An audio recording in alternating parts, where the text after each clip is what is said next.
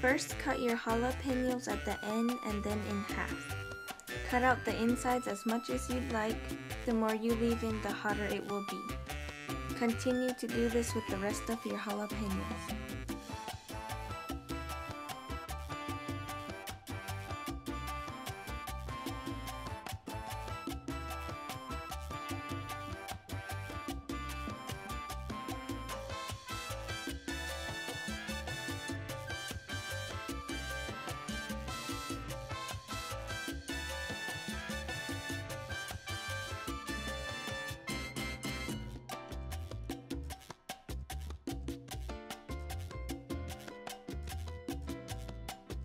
Okay, next you want to fill your jalapenos with cream cheese.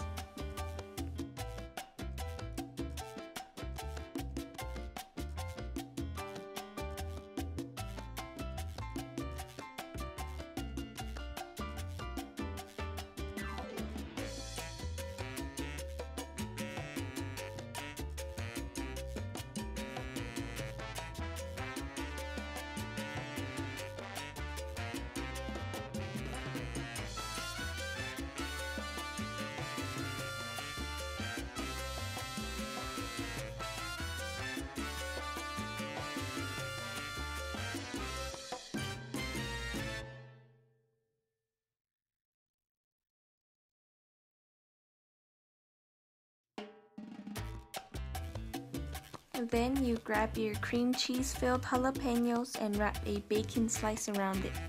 We usually use toothpicks to secure the bacon in place, but we don't have any at the moment.